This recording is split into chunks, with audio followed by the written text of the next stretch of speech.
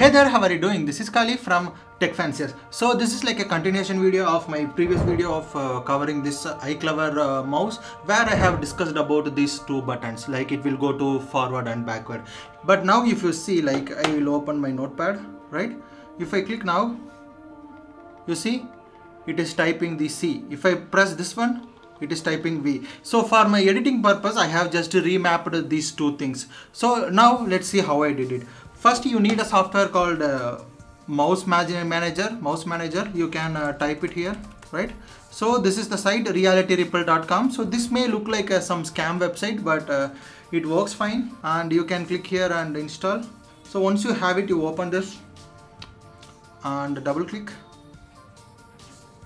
right? So it will tell don't run. Click on more uh, info and run anyway. And yes, okay so this is process is simple. Uh, you can go through this process. And once you have it uh, all the things installed you can type here in the start mouse manager. You can click run as administrator or normal that would be fine. So you can uh, set the buttons in here. It is here you can see. It is showing uh, 3 and uh, 4 and 5 which I have already set. What you can do is you can click here. You can click add right? So in the add button uh, you can click here whatever you want to add here you can do. For example here i am doing the uh, this is the uh, fourth button which is uh, this one the last one and the middle one is the 5 so for this i will set as control v.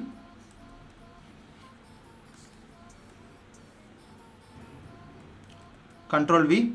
And then for this another button i will set as control c. So copy paste i can do with a, just with a single click in both the things after that I can click add right? So this too I can disable.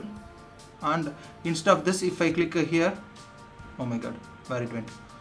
So for this I'll do control V this one control C okay?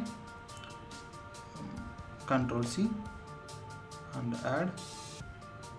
Okay so here it is added. I will click save once it is saved you have to go here and enable both uh, enable the mouse manager you have to do and then start with windows. Both you have to click and then you can uh, save it and close it. This software has to start uh, right before you do the boot up. Then only this remap uh, will work. Also you can't if you are using any corporate laptop or in your company you have different laptop that will have a different privileges you can't install this software. That time you this uh, particular method won't work. Because the configuration that we are doing it in on the system level it is not uh, doing anything in the mouse so even if you connect it in your uh, mobile or other laptops uh, still it will be forward and backward. So just make sure uh, that you understand that part. Well here now uh, it is remapped. I can go here. I can open some file. So here I have one file. Uh, once I selected I can click this. Now it is copied. I can click again this.